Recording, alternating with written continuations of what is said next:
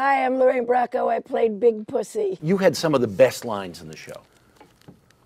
Yes. Yeah, that's a Well, great like one. I'm a I They're wait for the reading. In the Boston, New Jersey. That was a good one. The feds are That's so nice. far up. The feds are so Sometimes it was incredible, but he was also a pain in my. You sit, how many feet apart? 10, 12 feet apart? Never enough. I watched a bunch of episodes then just in the last couple of days. Saw it all the first time, saw it again five years ago, then watched a bunch of ec- episodes over the last couple You of got days. a lot of time on your hands. Sopranos is might be the only relationship in my whole life where I look back and I can't find a bad memory.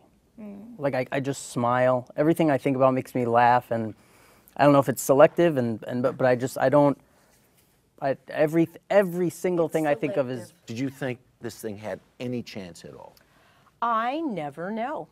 What I had come to know is that I don't know anything. I had been wrong so many times about things I thought were great that nobody else could care less about. So I just, you know, you hope for the best, but all you know is you have three weeks of work and then you move on.